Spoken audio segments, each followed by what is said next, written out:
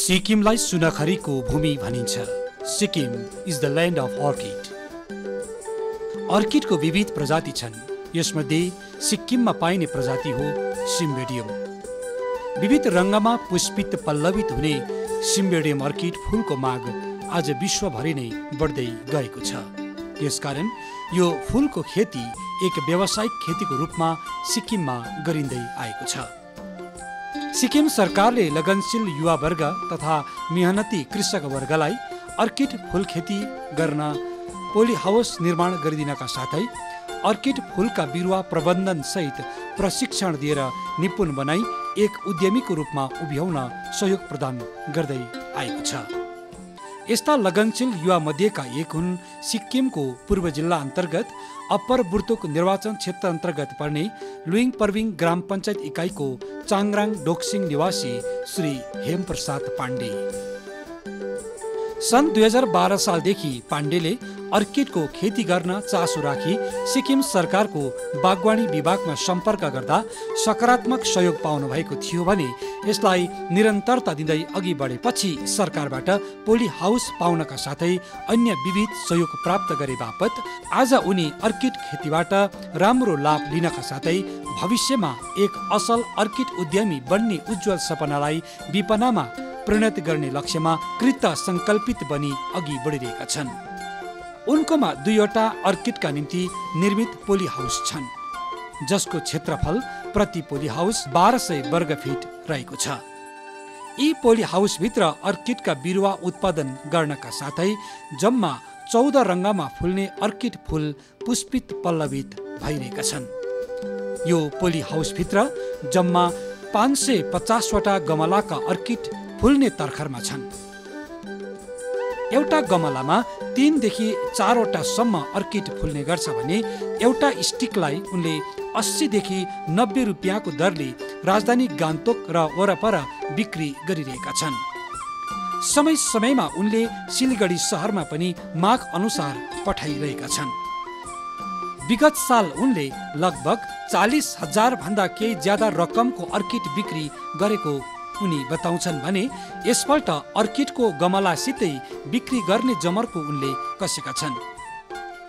जसको मूल्य प्रति गमला पन्ध्र सयमा बिक्री गर्न बजार व्यवस्थापन गर्न उनीले व्यवस्था जोडिसकेका छन्।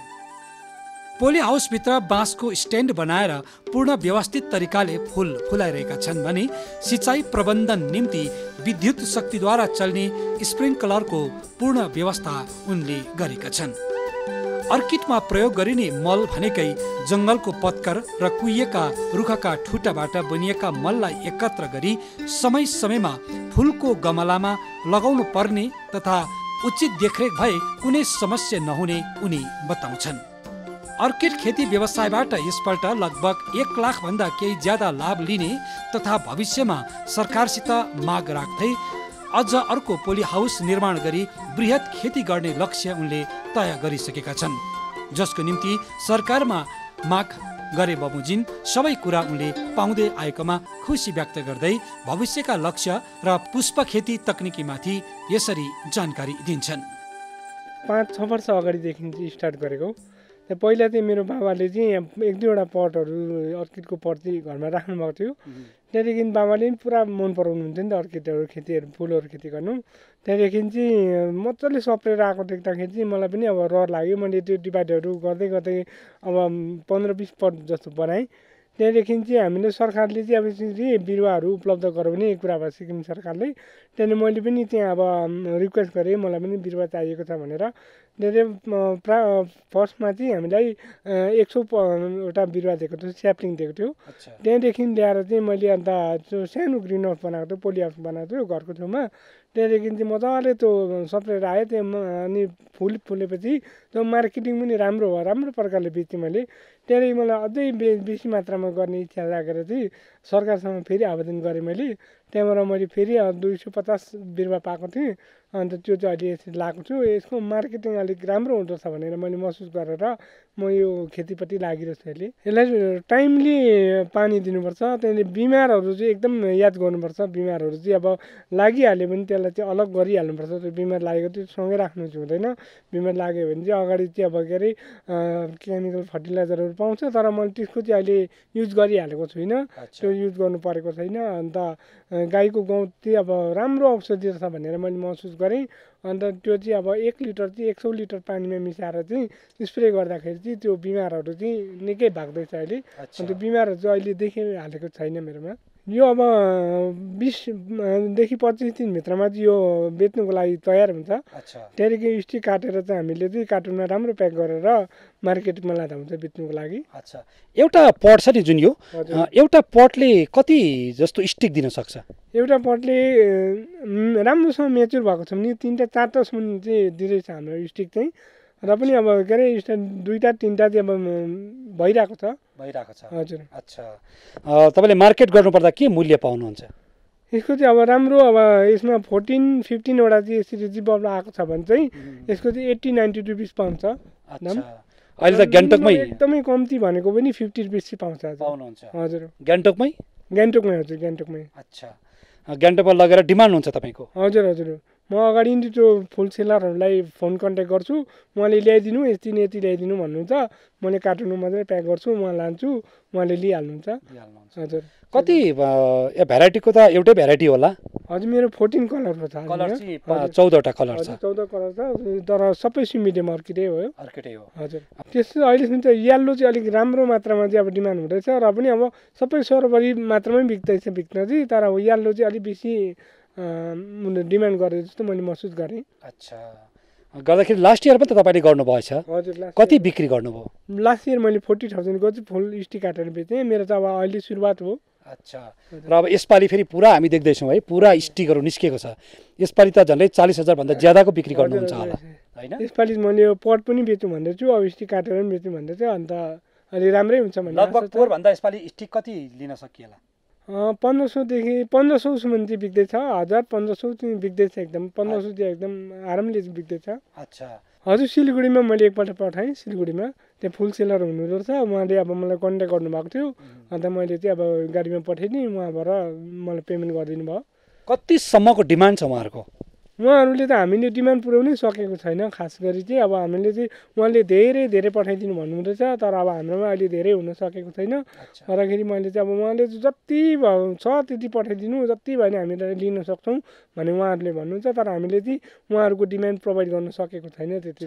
विचार गरेको छु अझै बढौँ भनेर अझै सरकारसँग अझै मैले गुनासो गरेर अर्को पनि ग्रिन मागेर कि त म अब यहीपट्टि लोनहरू निकालेर हो अर्को ग्रिन बनाएर लार्ज स्केलमा गरौँ? भनेर मेरो विचार छ मैले महसुस गरेँ यो फुल खेतीमा चाहिँ एकदमै राम्रो आम्दानी हुने रहेछ। अन्तदेखि मैले पहिला अब सुनेको थिएँ नि अब उत्तम खेती मध्यम व्यापार तुच्छ चाकरी भन्ने सुनेको थिएँ। तर मैले चाहिँ त्यो के होला जस्तो मलाई लाग्थ्यो नि क्या त त्यो स्कुल पढेको समयमा। तर मैले अहिले आएर गर्दै आएर चाहिँ मैले महसुस गरेँ। यो साँच्चै नै सही हो रहेछ किनभने यो खेतीमा चाहिँ अब एकदमै अब इज्जत पनि छ सबै कुरा अब आनन्दले अब आय स्रोतहरू हामीले निकाल्न सकिन्छ। अन्तदेखि चाहिँ यसमा यो फुल खेतीमा चाहिँ एकदम राम्रो स्कोप छ। मार्केटिङ एकदमै राम्रो छ। हामीले चाहिँ सिक्किममै पुर्याउन सकेको छैन। अब बाहिर दिल्ली बम्बईतिर पनि यसको पुरा डिमान्ड छ भन्ने म सुन्दैछु। अनि अझै अन्तर्राष्ट्रिय बजारमा पनि यसको माग एकदमै बेसी छ भन्दै भन्दैछन्। अन्तदेखि यो अब हामीले चाहिँ हिवासतिर पठाउन सक्यो भने चाहिँ दुई दुई सय पचास पनि पाउँछ अरे यसको। एउटा स्टिक एउटा स्टिक हो। तर हामीले चाहिँ त्यो त अब म त यहाँ अब हाम्रो गाउँमा म एक्लै मात्रै भइरहेको छु अन्त मैले हाम्रो अरू हाम्रो साथीभाइलाई हाम्रो गाउँले दाजुभाइलाई पनि मैले अब विगत साल मैले भने गरौँ हो भाइहरू। यसरी हुँदो रहेछ यसको फुलको खेतीमा चाहिँ एकदमै राम्रो आम्दानी हुँदो रहेछ गरौँ भने उहाँ उनीहरूलाई मैले ल्याएर देखाएँ यसरी बिग्दो रहेछ भनेर चाहिँ भने सबैजना भएर क्लस्टरमा गरौँ न हामी। अन्त क्लस्टरमा गऱ्यो भने चाहिँ हामीले चाहिँ मार्केटिङ गर्न हामीले एकदम सजिलो हुन्छ। हामीले डिमान्ड पुर्याउन सक्छौँ भनेर उनीहरूलाई भने अन्त लु गरौँ न त दाजु भनेर सबैजनालाई हाम्रो भाइहरूले जोस देखाए। त्यहाँदेखि मैले चाहिँ अब आवेदन गरेँ सिक्किम सरकारमा। अन्त हिजो अस्ति भर्खरै बिरुवा दुई सय पचास बिरुवा र ग्रिन हाउसहरू सबैले पाएको छ। अनि हाम्रो भाइहरूले हाम्रो गाउँको भाइहरूले एकदम इच्छासँगले गर्दैछ। अब हेरौँ भविष्यमा भाइहरूले पनि अब गर्दै गऱ्यो भने हामीले चाहिँ अब त्यो बाहिरबाटमा बाहिरको मार्केटबाट भएको डिमान्ड हामी पुरा गर्न सक्छौँ भन्ने आशा राखेको छ। हजुर ट्रेनिङ पहिला पाकिममा आइसिआरमा गरेको थिएँ। दुई दिनको ट्रेनिङ गरेको थियो तर मलाई चाहिँ अब त्यो ट्रेनिङ भन्दा पनि आफै गरेर सेल्फ एक्सपिरियन्स गरेको चाहिँ ठुलो ट्रेनिङ जस्तो लाग्यो क्या त। त्यहाँ गरेको कतिवटा ट्रेनिङहरू त्यो टेक्निकल प्रकारले त्यो सबै कुरा हामी गाउँ बस्तीमा हामी पुर्याउन सक्दैनौँ। त्यो केमिकल फर्टिलाइजरहरूको एकदमै बेसी मात्रामा त्यो प्रयोगको कुरा हुन्छ तर हामीले त्यो पुर्याउन सक्दैनौँ। तर हामी जे गाउँ बस्तीमा छ त्यही प्रकारले चाहिँ अब ध्यान दिएर चाहिँ गरेर चाहिँ आफै एक्सपिरियन्स गरेको चाहिँ ठुलो ट्रेनिङ जस्तो लाग्यो।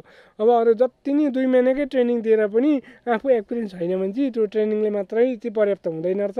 तर आफैले अब स्टार्टिङदेखि नै अब ट्रेनिङ बेगरै गर्दै गर्दै गरेको छ भने आफूले पहिला जाएर गरेको छ भने चाहिँ सबभन्दा ठुलो ट्रेनिङ चाहिँ त्यही हो जस्तो लाग्यो म चाहिँ। खादको रूपमा के के प्रयोग गर्नुहुन्छ तपाईँ मलको रूपमा? हजुर सो के अरे रुखको पत्करहरू चाहिँ एकदम विशेष बेस्ट रहेछ मल चाहिँ।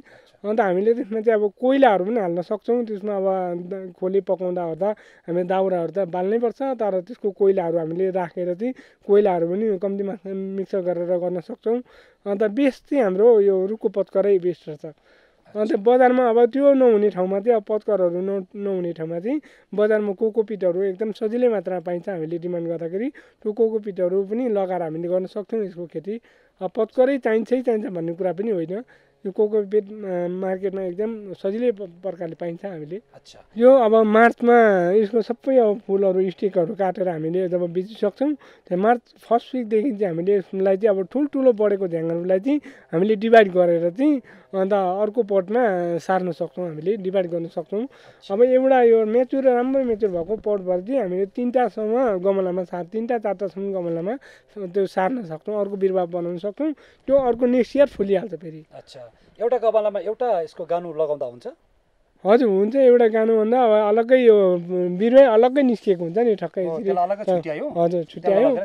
हजुर रोपिदियो त्यो कति एक वर्ष पछाडि फुल्छ? हजुर एक वर्षमा फुल्छ त्यो चाहिँ हजुर बिरुवाबाट फुल्न चाहिँ सानो बिरुवाबाट फुल्न चाहिँ त्यसलाई तिन वर्ष चार वर्ष लाग्छ तर यो अब फुटाको बिरुवाबाट चाहिँ अर्को साल फुलिहाल्छ। फुलिहाल्छ। हजुर। कुनै रोग देखा पर्यो? रुख अहिलेसम्म चाहिँ देखा परेको छैन। होला यसको रोग चाहिँ? त्यो भाइरसहरू भन्नु छ यस्तो छिर्के छिर्के लाग्ने पातमा छिर्के लाग्ने यस्तो बिमार हुँदो रहेछ। अनि तल यो यसमा चाहिँ कालो दाग लाग्ने त्यसरी बिमार हुँदो रहेछ। यसरी चाहिँ अब त्यो बिमारले चाहिँ सखापै पार्छ भन्छन् तर अब त्यो मेरोमा चाहिँ अहिले देखा परेको चाहिँ छैन। एउटा पनि बिमार देखा हजुर बिमार। देखा परेको छैन। अच्छा। अझ तपाईँले भावी लक्ष्य के राख्नु भएको छ त? यो फुल खेतीले तपाईँलाई पोहोरको साल चालिस हजार कमाउन सक्नुभयो। यसपालि भन्दै हुनुहुन्छ झन्डै झन्डै सत्तरी हजारको त अब म स्टिक मात्रै बेच्छु भन्- भन्नुहुँदैछ। अब पटै पनि तपाईँले एउटाको पन्ध्र सय रुपियाँ गोटा गरेर बिक्री गर्ने सोच राख्नु भएको छ। हुनसक्ला भोलि दिनमा एक लाख रुपियाँ त तपाईँले त्यसै पनि यसबाट कमाउन सक्नुहुन्छ। अझै मिहिनेत गर्नुभयो भने धेरै कमाउन सक्ने सम्भावना छ। हजुर। कस्तो लक्ष्य छ तपाईँको? हजुर मेरोमा जति अब आफ्नोमा बारी छ त्यसमा त मैले हिसाब गर्दाखेरि चाहिँ अहिले मेरो अब चौबिस सौ स्क्वायर फिट छ दुइटा ग्रिन हाउस गरेर। मेरोमा जग्गा अझै अब सरकारले प्रोभाइड गरिदिनु भयो के अरे मैले अब लोनहरू यता पाएँ भने चाहिँ मैले चाहिँ अझै मेरोमा चाहिँ अब सात हजार आठ हजार स्क्वायर फिटसम्मको अब मैले ग्रिन हाउस बनाएर चाहिँ त्यसमा चाहिँ अब पच्चिस सौ तिन हजारसम्म चाहिँ मेरो चाहिँ अब अटाउन सक्छ मेरो बारीमा भनेर मैले चाहिँ त्यो एम राखेको छु। अन्त त्यसमा चाहिँ मेरो चाहिँ अब पाँच साढे पाँच लाख रुपियाँ चाहिँ मेरो चाहिँ अब सालाना इन्कम हुन्छ भनेर मैले चाहिँ अब भित्रबाट मैले प्लान बनाइसकेको छु। तर अब फ्युचरमा चाहिँ म यही एग्रिकल्चरपट्टि नै यो फुल खेतीपट्टि नै अन्त त्यहाँदेखि अर्को अप्सनलमा चाहिँ गाईपट्टि भनेर मैले अब सोचेको छु। अब सरकारी नोकरी गर्नुहुन्न? हजुर सरकारी नोकरी त अब म गर्दिनँ अब। गर्नुहुन्न। हजुर। इच्छा छैन। इच्छा छैन। अच्छा अब एकैचोटि रेगुलर पाउनु गाह्रो छ। अब। एडकमा एमआरमा लाग्नुभन्दा यो नै ठिक छ। यही नै ठिक छ हजुर। साथीभाइहरूलाई के सुझाव दिनुहुन्छ त? जो चाहिँ पढेर बसेका छन्। साथीभाइहरूलाई चाहिँ मैले भनिहालेँ हो यो खेतीमा चाहिँ एकदमै उत्तम हो। अब खेतीबाट चाहिँ हरेक कुरा पाउन सकिन्छ। हामीले चाहिँ अब फ्री लाइफ हो एकदम ढुक्कको लाइफ हो। खेतीबाट चाहिँ अब इज्जत पनि छ सम्मान पनि छ। अनि त्यहाँदेखि यसमा चाहिँ अब आनन्द आनन्द छ। खेतीबाट यसरी फुल फुलेर चाहिँ टक्क ढङ्गमा टक्क आफूले चाहिँ एक खालको अब आनन्द महसुस हुँदो रहेछ यसमा अब लगेर बेच्न पाउँदा टक्कै आफूले केही कसैको दबाब नआइकन हातमा टक्कै क्यास थापेर आफ्नो जीविका चलाउनु चाहिँ एकदम ए ठुलो आनन्दको कुरा हो। अनि त्यहाँदेखि म साथीहरूलाई अब एकदम प्रेरित गर्न चाहन्छु उनीहरूलाई प्रोत्साहन गर्न चाहन्छु। यहीपट्टि लागौँ सबैजनाले। अनि त्यहाँदेखि चाहिँ यो हाम्रो एरियामा चाहिँ यो बेल्टमा चाहिँ यो सिमिडियम अर्किड एकदम राम्रो सुट गर्छ यहाँ गरिरहेको छ। अनि त्यहाँदेखि चाहिँ पानीहरू हाम्रो यो दुःख छैन पर्याप्त मात्रामा छ। अनि त्यहाँदेखि हाम्रो रोडको कनेक्टिभिटी राम राम्रो भएको छ अहिले। अनि हामीले मार्केटिङ गर्न सजिलै सक्छौँ सबैजना लागौँ अन्त यो गरौँ भन्ने विचार छ। अन्त अरू अरू यो खेती नहुने ठाउँमा पनि सब्जीबाट हुनसक्छ गाईबाट हुनसक्छ। अन्त यो हामीले काम पाएनौँ रोजगार छैन भनेर चाहिँ हताश नहौँ हामी कोही पनि बेरोजगारहरू। अन्त यसमा चाहिँ मौकै मौका छ गऱ्यो भने अलिकति जाँगर लगायो जोस गऱ्यो भने चाहिँ मौकै मौका छ। पहिला स्टार्टिङमै खेतीबाट चाहिँ हुन्छ भन्ने सकिँदैन। पहिला स्टार्टिङमा दुःख पनि हुन्छ कति कुरा कति कुरा पुग्दैन के हुन्छ टुटीपुटी हुन्छ तर हरेस नखाएको कन्टिन्यू रूपमा चाहिँ त्यहीमा चाहिँ के अरे निच्यान भएर गरिरह्यो भने चाहिँ खेतीबाट चाहिँ एकदमै राम्रो उन्नति हुन्छ भन्ने म उहाँहरूलाई आग्रह गर्न चाहन्छु। सबै लागौँ हताश नहौँ खेती नै गरौँ। श्री हेमप्रसाद पाण्डे केवल अर्किड खेतीमा मात्र संलग्न छैनन्। उनका सबै परिवार पशुधन व्यवसाय सँगसँगै सागसब्जी खेतीमा पनि उत्तिकै संलग्न छन्।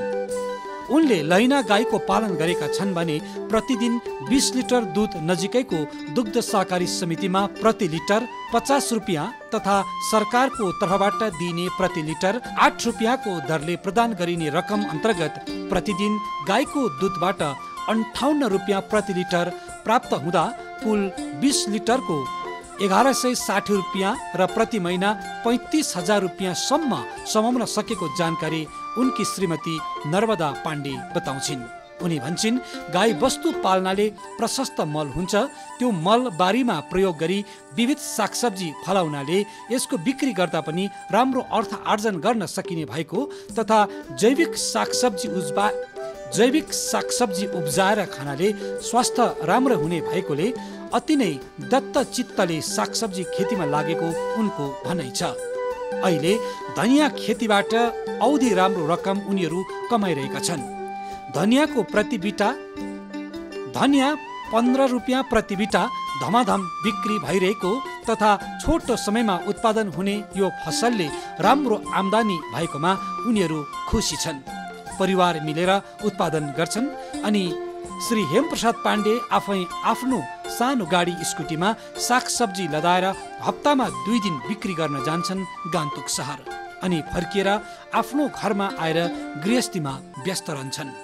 सुनौ श्रीमती नर्मदा पाण्डेको विचारधारा। फाइदै हुन्छ धनियाँबाट एकदम राम्रै हुन्छ। हिजो अस्ति हामीले तिन हजारको बेच्यौँ भर्खर भर्खर। अन्त यति यो सानो ठाउँमा एउटा सानो ड्याङमा एक सौ डेढ सौ बिटा हुन्छ। छ सौ बिटासम्म चाहिँ बेच्यौँ अझै बेच्दैछौँ हुन्छ अझै छ धनियाँ त छ सौ बिटाको बिटाको कसरी बिक्री गर्नुहुन्छ? बिटाको पन्ध्र बिस त्यस्तै छ। पन्ध्र बिस। हजुर गर्दाखेरि त तपाईँको त नौ दस हजार रुपियाँ त अझै पनि यही ठाउँबाट हुन्छ। हजुर हुन्छ हुन्छ नौ दस हजार हुन्छ अझै। यसलाई फेरि उखेलेर फेरि बारी खाली हुन्छ फेरि खेती गर्नु मिल्छ? हजुर फेरि फेरि यसलाई उखाल्यो फेरि लाउनुपर्छ। हुन्छ फेरि। यसलाई पर्याप्त मल त चाहियो नि। हजुर मल चाहियो। गाईको गाई पालेका छौँ हामीले। अन्त त्यसकै अब आफ्नै अर्ग्यानिक मल हो त्यसैले गर्छौँ। गाई पालनबाटै भइरहेको छ मल सबै कुरा राम्रै छ। गाई कति माउ पो छन्?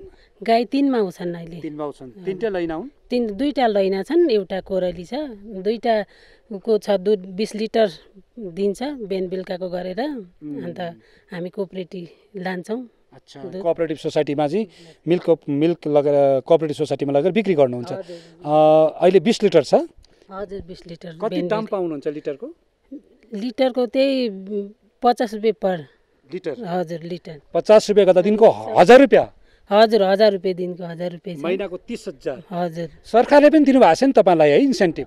हजुर दिनुभएको छ आठ रुपियाँ पर लिटर दिनुभएको छ। अच्छा। अन्त त्यसबाट पनि छ राम्रो छ। महिनाको हाम्रो तिस हजार जस्तो लगभग तिस हजार जस्तो हुन्छ मन्थली मन्थली जस्तै अब दुध अढाई तिस हजार त कमाइहाल्नु भयो सरकारले दिएको अब आठ रुपियाँ हुँदाखेरि त झन्डै झन्डै पाँच हजार जस्तो त सरकारले नै हालिदिनुहुन्छ पैसा। हजुर हालिदिनुहुन्छ। सरकारबाट एकदम राम्रो छ हामीलाई एकदम राम्रो भइरहेको छ।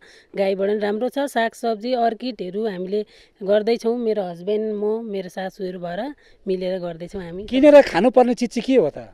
किनेर खानुपर्ने त अहिले हामीले त्यही तेल मसला चामल। अरू त परेको छैन सागसब्जी घिउ छुर्पी सबै घरमै बनिन्छ बनाउँछौँ। केही किनेर खानु परेको छैन। घिउ छुर्पी पनि बिक्री गर्नुहुन्छ? घिउ छुर्पी बिक्री गरिहालेको चाहिँ छैन। अब दुध डायरी लान्छौँ। दुध लगेपछि चाहिँ अलिक छुर्पी घिउ बनाउन अलिक इम्पोसिबल हुन्छ र पनि अलिअलि घरमा खाने चाहिँ बनाउँछौँ। बनिन्छ। अच्छा। कस्तो लाग्छ तपाईँलाई गाउँको खेती यसरी संलग्न भएर काम गर्दाखेरि? एकदम खुसी राम्रो लाग्छ एकदम मजाको लाग्छ एकदम रमाइलै छ राम्रै छ सबै राम्रै भइरहेको छ। को खटिनुहुन्छ? खटिना त मेरो हस्बेन्ड सासू अनि नानीहरू पनि गर्छन्। मसिनो छन् छन चाहिँ तर गर्छन् गर्न चाहिँ। मजा लाग्छ? मजा लाग्छ एकदम राम्रो लाग्छ एकदम बस्तीको काम गर्न मजा आउँछ। पहिल्यैदेखि गरेको हो। एकदम रुचि नै छौँ। माटो मलिलो छ? हजुर एकदम मलिलो राम्रो छ हाम्रो माटो त्यस्तो नराम्रो छैन। अब आलु रोप्ने सिजन भयो आलु पनि हामीले रोप्दैछौँ हुन्छ आलु पनि। अन्त रोगहरूको कतिको समस्या छ होला रोग त त्यति त्यति छैन रोगको समस्या त त्यति लागेको छैन। अच्छा। हजुर छैन। तपाईँ जस्तो दिदीबहिनीहरू जति पनि हुनुहुन्छ नि जो पढालिखा भएर बस्नु भएको छ कतिलाई रोजगारीको समस्याको कुराहरू गर्छन् सरकारले नोकरी दिएन भन्छन् आफ्नो जमिन बाँझो लडिराखेको पनि हुनसक्छ के भन्नुहुन्छ उहाँलाई? उहाँहरूले पनि अब गर्दा त खेतीपाती नै गरेको राम्रो गर गर्नुहोस् भन्छु म सबैलाई त्यही भन्छु। खेतीपाती नै गर्नु पढेको होस् अब नपढेको होस् प्रायः जस्तो खेतीपाती नै गरेको राम्रो। खेतीपातीबाट एकदम राम्रो हुन्छ एकदम हामी चाहिँ उच्चा छौँ एकदम राम्रो छ हामीलाई खुसी छौँ। खेतीपाती हामीलाई राम्रो फाबिराखेको छ हो भइराखेको छ। भाइले भन्दै हुनुहुन्थ्यो अर्किड बेचेर नै लगभग झन्डै सत्तरी हजारदेखि माथि कमाइ हुन्छ भन्नुभयो। तपाईँ त धनियाँ बेचेरै पन्ध्र बिस हजारको कमाइको कुरा गर्नुभयो। उतापट्टि महिनाको तिस हजार रुपियाँ त झन्डै ब्याङ्कमै डिपोजिट गर्नुहुन्छ दुध बेचन व्यवसायबाट भन्नुभयो। केही कुरा किनेर खानु पर्दैन भन्नुभयो है। भनेपछि वर्षको राम्रो इन्कम छ ब्याङ्क ब्यालेन्स राम्रो छ तपाईँहरूको? एकदम राम्रै छ अहिले त हजुर सर हजुर। माग्नु पर्दैन हजुर काट्नु पर्दैन। पर्दैन पर्दैन। एकदम हामीलाई राम्रो खुसी छौँ हामी एकदम राम्रो छ। अहिले पहिला बिहा गरेर आउँदा कस्तो अवस्था थियो त्यहाँको र कतिको प्रगति गरेको पाउनुहुन्छ? घरको अवस्था कस्तो थियो? अहिले गएर कमाएर कतिको परिवर्तन पाउनुहुन्छ? पहिला बिहा गरेर आउँदा त निकै त्यस्तो थिएन राम्रो थिएन। गाई बस्तुहरू पनि थियो त त्यति इन्कमहरू थिएन। अब देवर नन्दहरू सानो सानो थिए पढ्न यताउता सबै कुरा पहिला त अब त्यस्तो राम्रो खालको थिएन। अब बिस्तारी बिस्तारी बिस्तारी हरेक कुरा बनिँदै बनिँदै गयो राम्रो हुँदै हुँदै गयो। हजुर। घर बनाइयो। त्यही गाईबाटै लोनबाटै गरेर हामीले घर बनाइयो। अन्त साग सब्जी यताउता त्यस्तै गरेर नानीहरू पढाउँदैछौँ। त्यस्तै हुँदैछ राम्रै छ अहिले त सबै कुरा एकदम राम्रो छ। उनीहरू शिक्षित छन् अनि छन् मेहनती र स्वावलम्बी पनि। न त सरकारी नोकरीको नै उनीहरूलाई खाँचो छ न त कसैको आड भरोसा। आफ्नै मेहनतमा भाग्य खोज्छन् अनि कर्मले भाग्य बनाउँछन् अनि परिवार रमाउँछन्। राम्रो घर बनाएका छन् परिवारलाई खुसी दिएका छन्। जमिन कतै बाँझो छैन। जति लगाएको सागसब्जी छन् लह लह भएर आएका छन्। गाईको जैविक मल प्रशस्त लगाएकोले धरती मलिलो भएको छ। अर्किड फुल बेच्छन् सब्जी बेच्छन् गाईको दुध बेच्छन् अनि राम्रो रकम समाउँछन् अनि सबै परिवार रमाउँछन् यसैभित्र आनन्दमा जिउने आदत बसेको छ उनीहरूको। कति आनन्दको जिन्दगी। यी हुन् हाम्रा प्रेरणाका स्रोत। यसरी नै सबैले परिश्रम गरे सिक्किम स्वत आत्मनिर्भर बन्नेछ। आऊ हामी सबै मिली पौरखी बनाऊ सबै सबै स्वावलम्बी बनाऊ अनि जैविक भूमि सिक्किमलाई नमुनाको राज्यमा परिणत गरौँ।